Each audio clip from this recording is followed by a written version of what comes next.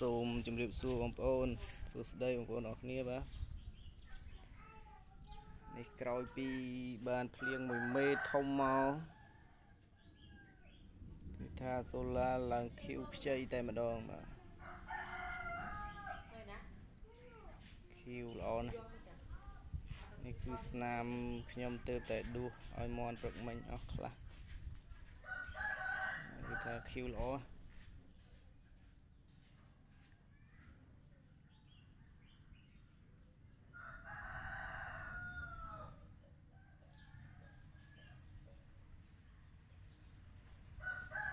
បាទនេះគឺ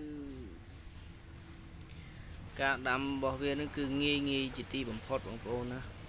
អត់ពិបាកទេក្នុងការដាំឲ្យតែបងប្អូនមានទីតាំងត្រឹមត្រូវ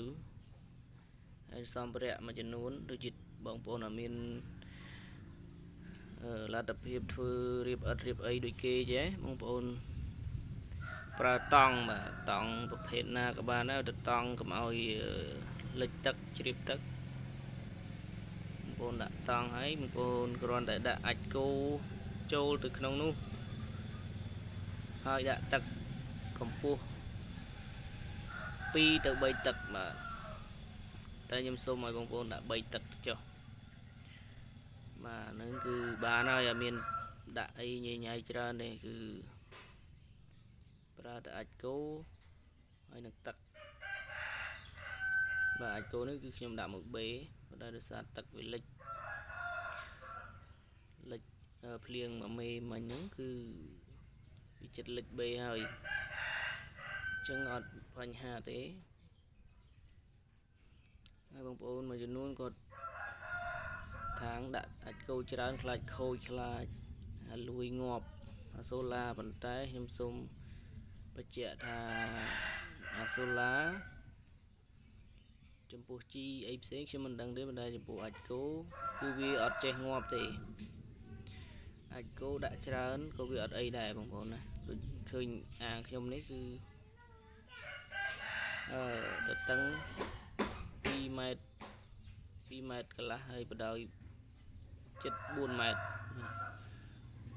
3ម៉ែត្រជាង3ម៉ែត្រកន្លះបាទបដោយអញ្ចឹងខ្ញុំដាក់អាចគោមកបេនេះមកបេគឺបេធំគឺវាអត់មានឃើញថាងាប់ឬក៏អីទេគឺវាគិតវាកាន់តែល្អឡើងល្អឡើងបាទអញ្ចឹងរយៈពេលមួយខែកន្លះឬក៏2ខែយើងបដូរអាចគោចេញម្ដង យើងបដូរទឹកចេញទៅយើងដាក់ដាំសាជាថ្មីមកគឺវាល្អទៀតហើយអញ្ចឹងចំពោះអាចគោគឺអត់បញ្ហាទេប៉ុន្តែបើសិនជា អាចមន់អានឹងខ្ញុំធ្លាប់ដកពិសោធន៍រួចហើយ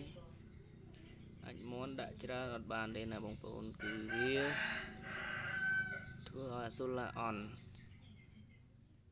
វាអត់អត់លាស់ទេវាចាប់ដើមអឺរយបាទរយលិតអត់លិតរួចហើយក៏ងាប់ទៅតែបើសិនអាចគោអត់អីទេគឺល្អរហូត